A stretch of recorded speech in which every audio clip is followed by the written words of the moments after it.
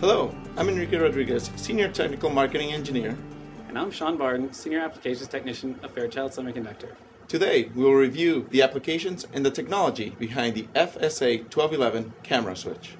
The FSA 1211 is a 12 port, single pole, single throw analog switch optimized for isolation, size, and performance.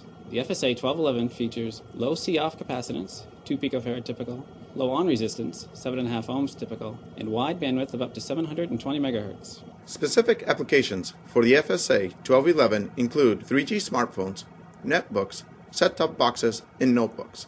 As an example, let's take a closer look at smartphones with dual camera applications. Typically, you will find a high resolution still camera and a lower resolution video conferencing camera.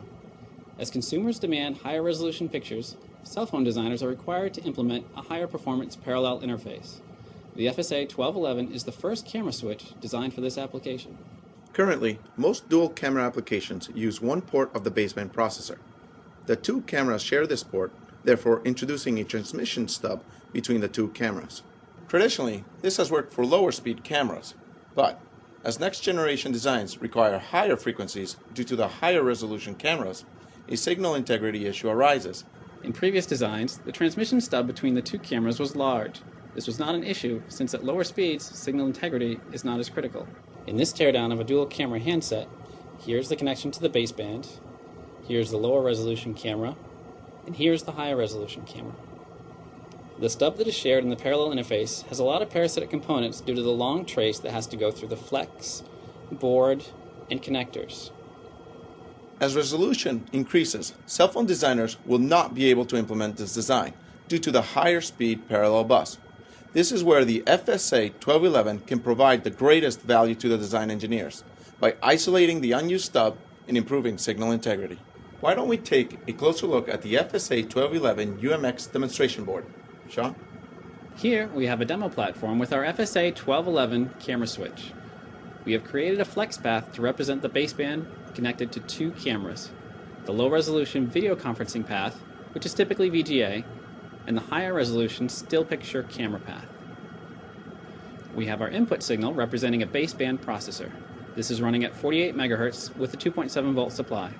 Today, we'll be demonstrating the FSA 1211's ability to isolate the lower resolution VGA camera path signals from the higher speed path in order to maintain signal integrity. Traditionally, with unisolated camera paths, you will get signal distortion due to the parasitic components and reflections from the parallel stub. We will look at two cases. First, we will see the poor signal integrity on this board without the isolation. As I close the isolation switch, both camera paths are connected to the baseband processor. Now, we will monitor the high speed camera path output on the scope with our input signals running. Here, you can see the reflections in the signal edge and the effects of parasitic components in the VGA camera path. As we see in this waveform, the reflections cause distortions in the threshold region. They also slow the rise and fall times of the edges. These artifacts decrease the data eye and directly limit your signal speed. These high frequency components of the distorted signal can cause timing errors in eye closure, radiated EMI, and data corruption. As I open the FSA 1211 switch path, it isolates the parallel stub. This improves signal integrity by reducing the distortion and increasing the bandwidth of the high speed camera path. Let's look again at the signal integrity in this demonstration, before and after isolating with the FSA 1211. Before, we see the signal integrity issue. After, the FSA 1211 isolates the VGA camera path from the high speed bus and improves signal integrity.